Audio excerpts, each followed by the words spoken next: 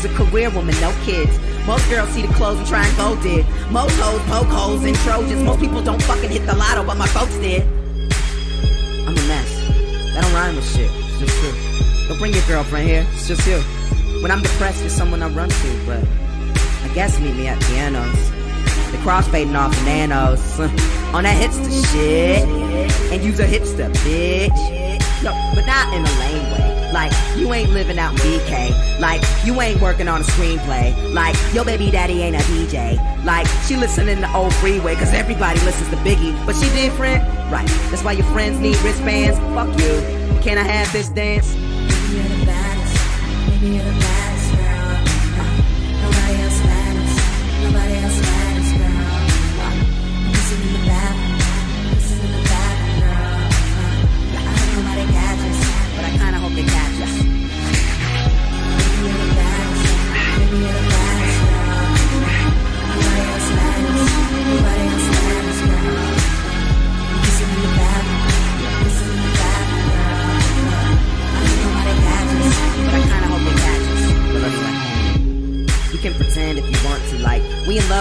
At your art school. Cause either way, we both lying more than half of the time. Except for when I'm home working on your graphic design. Every time we see each other, I'm taking you home.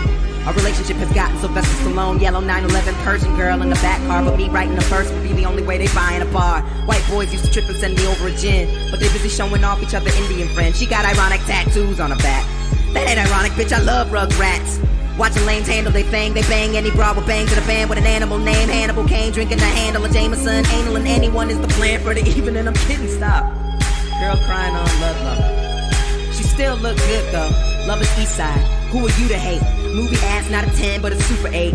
You ain't see me at the show, I was super great. Hotel penthouse, gon' let it ruminate. City never sleeps, so I guess I'm never slept on. Did everything I could, then I kept going. Baby, you're the baddest. Baby, you're the baddest girl.